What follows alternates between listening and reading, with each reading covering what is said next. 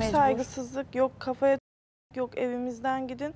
Böyle bir şey zaten kabul edilemeyecek Ya bir şey. Yani misafir olarak bir de evde üstüne- hanımefendidir bayanlar, kadınlar. Yukarıdan atmak hiç hoş bir Hayır, hareket bir de değil. Ben üstüne gerçekten hiç savunuyorlar ya bu beklemiyordum. davranışlarını. Siz Hala böyle çok kırgınım. Sana bir söyleyeyim bir daha damatlar Hala evine çok gidesim yok. kırgınım. Asla bir daha da gitmiyorum zaten. Hayır oraya kesinlikle gitmeyelim. Onlar buraya geldiğinde de gereken ilgiyi göstermeyelim E, zaten. tabii ki de Zaten göster. İlgi mi kaldı da ilgi Aynen göstereceğiz öyle. yani. Yok biz misafirperveriz Öyle bir şey ya, daha, olabilir daha mi? nazik ve kibar düşünüyoruz Defolun onlara gidin göre. Bir şey Evimizden ne diyeceğim. demek Onlar ya? neredeyse her gün buradalar ve biz bir kere bile böyle bir davranış sergilemedik. Hiç. Bir kere gittik bak Tankut bile söyledi dedi ki ilk defa bütün gelinler geldiler ve yaptıkları şeyi gördünüz mü? Ve biz 8 giderken Mart bir e, de çok üstüne. üzüldü. Kahve yapıyordu bize mutfakta hatırlıyor musun? Gitmeyin. Hatta dedim ki siz dedim kahveleri alın da gelin.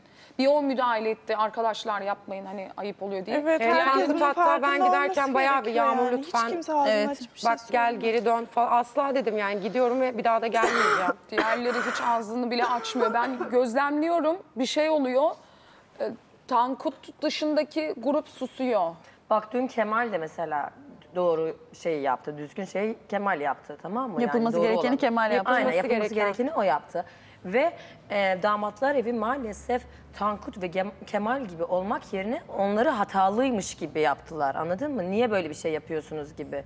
Arkadaşlar beni çıldırttıktan sonra şey e, yapıyor. ben kusura bakmayın biraz kötü. Dinleneyim biraz artık. Bir şey ihtiyacın Öpüyorum var sizi. mı? Yok teşekkür ederim. Kahvaltı yaptın mı? Yaptım yaptım sağ ol. Tamam canım. Ya halsizim biraz Kapıyı ya bir açar şeyim yok. mısınız? Dinlensem Açayım, geçer açık kalsın zaten. canım. Hadi git biraz. Hastaneye gideceksin değil mi? Öpüyorum sizi.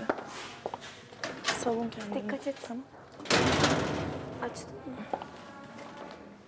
O üst kata nasıl çıktı onlar? Ne oldu da çıktı? İkisi birlikte oraya oturdular ya iki Çıkmak kafadan. istediler evden biz girdikten sonra çıkamadıkları için oraya geçtiler. Onlar Bizden buraya uzak gelmek oturmak istediler. Biz Evet. oraya gittik ya, ikisi buraya gelmek istedi. Allah Allah. Tabii e, Akınlar burada diye geri döndüler. Sonra E, üst bu kata durumda çıkmak da zorunda üst kata kaldılar. çıkıp oturdular. için. Selam. Ha bize hediye mi aldın? Hiç gerek yoktu. diyor. Adnan'la bana getirmişler de. Hediye. Aa gel getir bakayım aç. Ha, Nerelerden nerelerden. Şuraya doğru bir ser onları. Çekmeköylerden, Kartallardan falan gelmişler ya.